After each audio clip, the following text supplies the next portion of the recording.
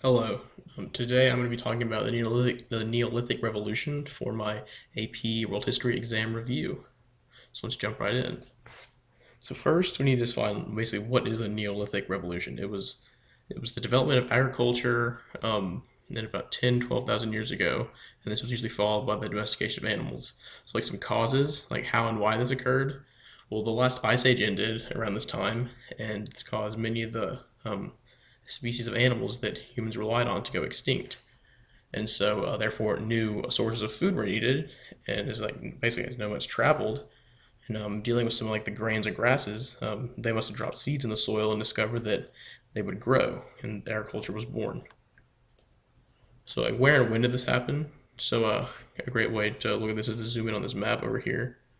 So, basically, uh, uh, around the Indus River Valley, um, you had uh, the like Mohenjo-Daro and the Harappa civilizations.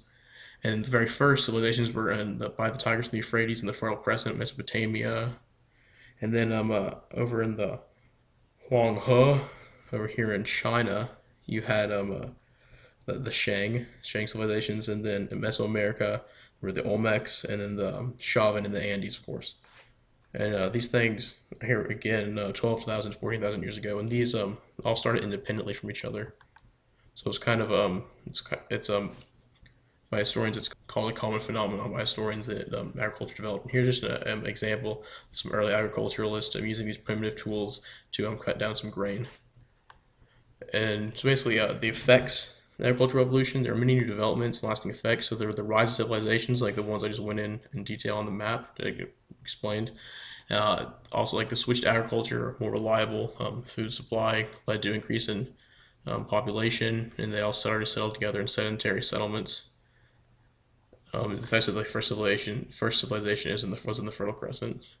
Um, domestication of animals. Uh, this stemmed from like living together in settlements. Um, animals um, were allowed were used for herding and assistance in farming, like pulling plows. And then pastoralist societies developed, where um, uh, agriculture wasn't possible. So this was usually in the eastern hemisphere. Um, because you had to have domesticated animals, and those did, really didn't exist besides the, the llama in the Andes and over in uh, central over in um Latin, uh, South America. Pardon me. And uh, these, were, these were nomadic people who herded their animals around following uh, the pasture for these animals. Then environmental degradation. Degradation. This also um, resulted from the agricultural revolution, and uh, had a massive. They had a massive impact on the environment through um like burning um, areas of land to, to be crops and cultivate fields. Also, um, um, by cutting down trees to make room for these crops, deforestation, and um, like re- by replacing the forest, um, it caused soil loss, floods, and water shortages. And then um, if they over aggressively farmed, it could lead to um, soil erosion.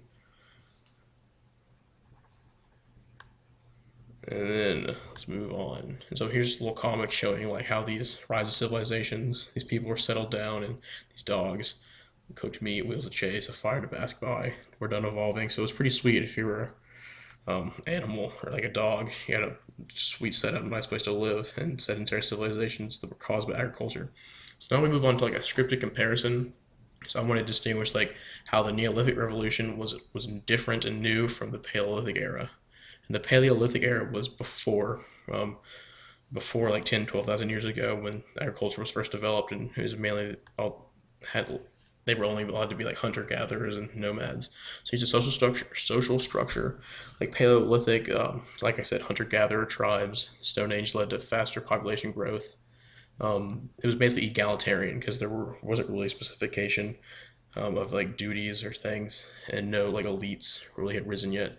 Neolithic, um, more of this stratification began to happen as people were um, able to like define roles and settle down and uh, store and accumulate goods.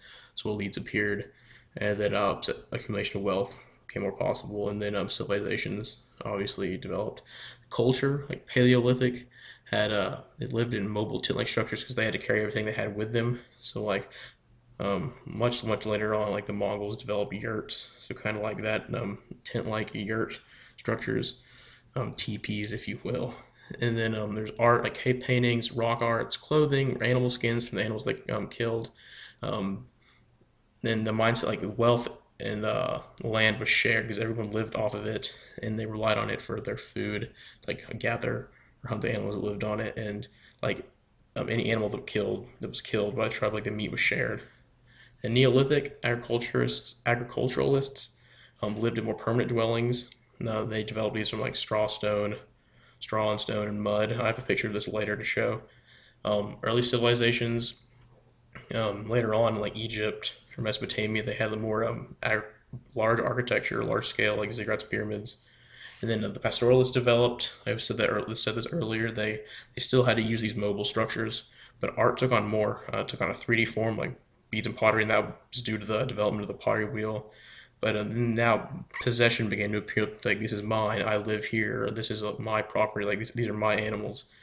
And then um, record keeping um, developed, or not not developed, but um, they they arose in different areas independently, just like agriculture did, um, but they were like diffused with each other.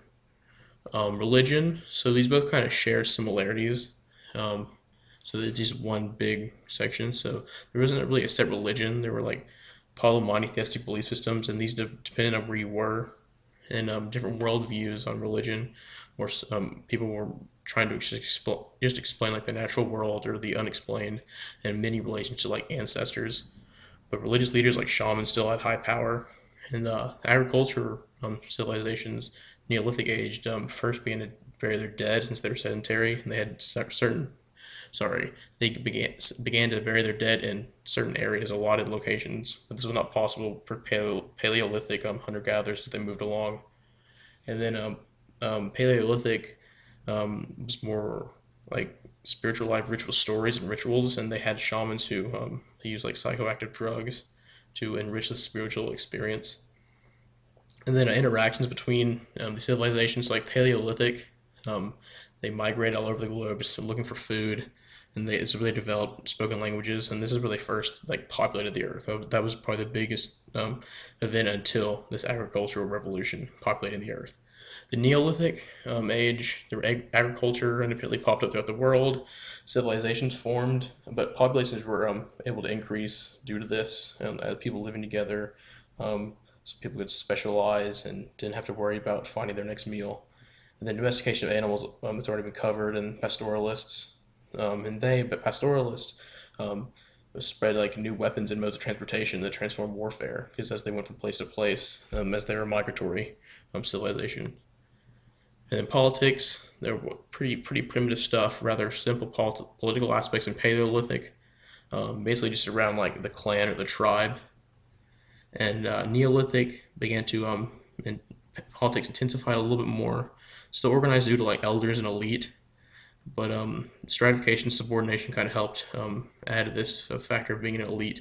then um, early states were often led by a ruler, with a source of power was believed to be um, ruled based on divine right. This was seen in China later on, also like the mandate of heaven.